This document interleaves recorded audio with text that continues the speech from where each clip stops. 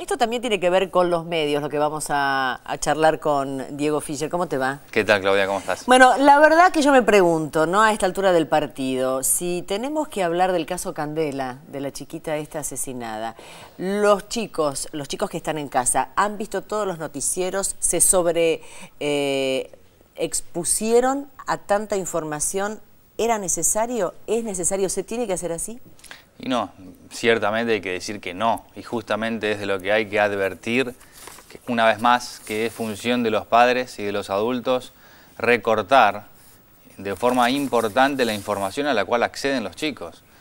Eh, hoy hay que hablar de un poco de las consecuencias y las repercusiones que tienen en los chicos el caso que fue totalmente público y que conmovió a todos, y como todos podemos entender que si los adultos estamos de alguna manera conmovidos con el tema, bueno, hay que tener en cuenta que los chicos también, o sea, no son solo los padres y los adultos los que pueden decir, y podría ser un hijo mío, podría ser algún chico que conozco, no, los chicos también se preguntan, muchos de ellos, ¿podría haber sido yo? ¿Podría pasarme esto a mí? Es responsabilidad de los padres dos cuestiones. En primera instancia, cuidar mucho, cuidar el tipo de acceso que tienen a la información, que es información de adultos.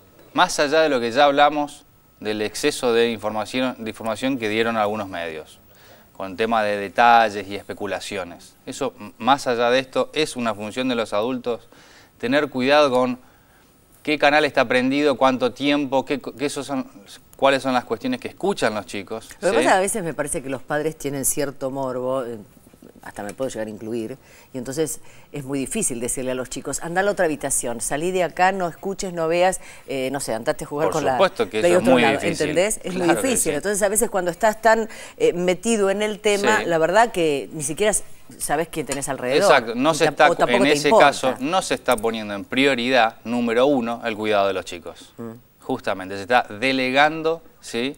esa, esa cuestión que más hay que cuidar que es lo que le está entrando a la cabeza de los más chicos, y esto hay que cuidar.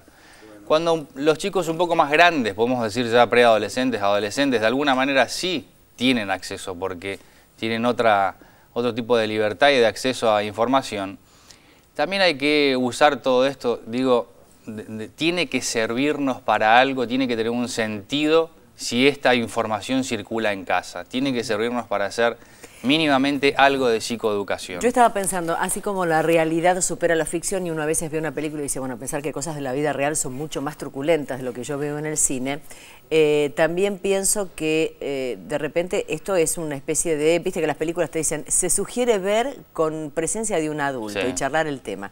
Esto merece, ¿no? una charla en familia, eh, aprovechar la hora de la cena, por ejemplo, y decir por qué pasó lo que pasó, que uno tiene que prestar atención a la justicia, que no todos los medios tienen un tratamiento, digamos, este, con altura del tema. Absolutamente, usando un poco la metáfora que decís, hay material que debería estar restringido para los menores.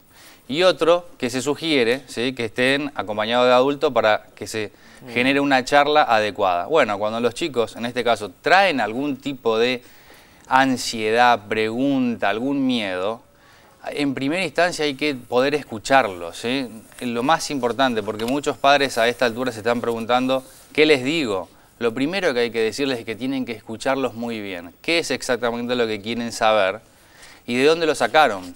Estoy escuchando algunos casos de niños chiquitos ya que le están preguntando a sus padres qué significa, qué es secuestro, y a partir de ahí algunas preguntas más vienen en relación a este caso. Primero pregunten y sepan bien qué es lo que quieren preguntar y qué saben hasta el momento. Muchas veces lo único que hay que hacer y que es muy importante es corregir esa información. Tiene que tener un sentido psicoeducativo, tiene que ser muy cuidado el tema y esto una vez más es responsabilidad nuestra de los adultos. Guido, muchas gracias como siempre. Guido Fischer, que es tan educado que cuando le dije Diego hace un ratito no me corrigió. Gaby.